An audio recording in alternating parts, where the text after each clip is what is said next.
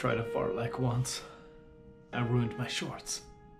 I'm not sponsored by Salomon. I just spend a fortune on their products.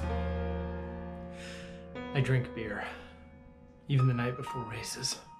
My name is Mike, and I'm a back of the packer.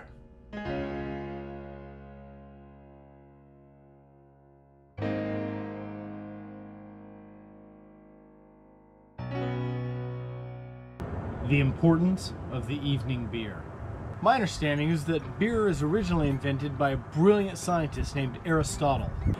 And after bathing in a tub of amber ale, he stumbled through the streets of Greece shouting Eureka.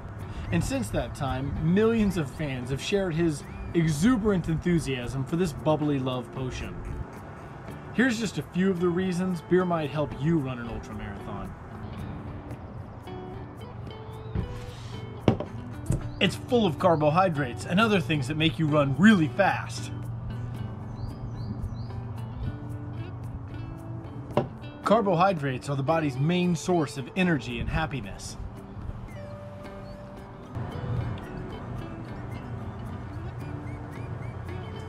Mm. Beer is high in calories. You're gonna need all those calories if you're gonna run 100 miles.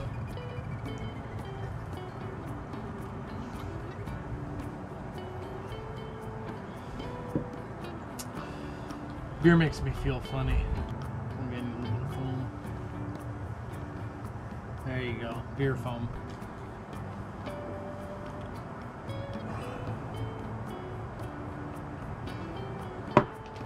Beer is made with lots of water.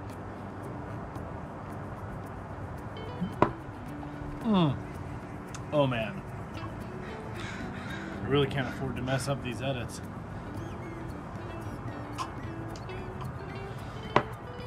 Beer is made with lots of water, so it probably hydrates you, which is good for your kidneys, I think.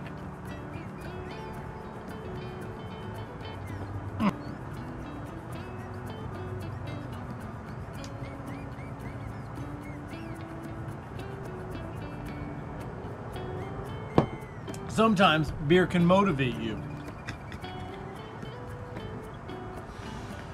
Whew. Sometimes beer can motivate you. I've run the last three hours of a race only thinking about what kind of beer I'm going to get at the end.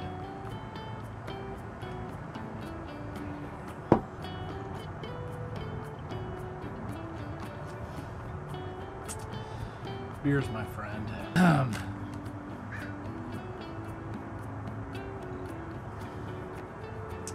Beer contains vitamins like potassium and sodium and manganese, which sounds pretty cool. Manganese.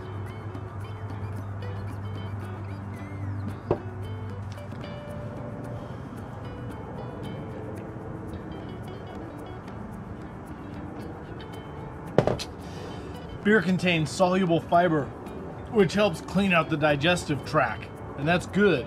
When you're lighter, you run faster. Hmm.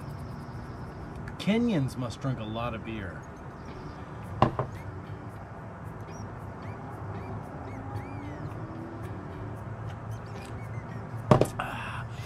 It increases levels of vitamin E in the body, which is an antioxidant, and oxidants are bad. I had an oxidant while I was running once.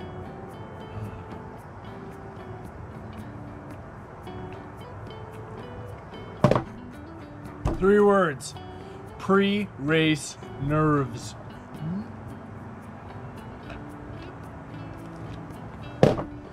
Whew.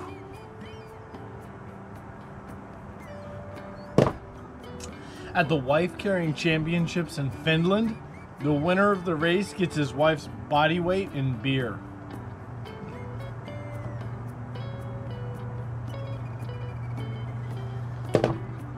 I don't know if that last one's helpful.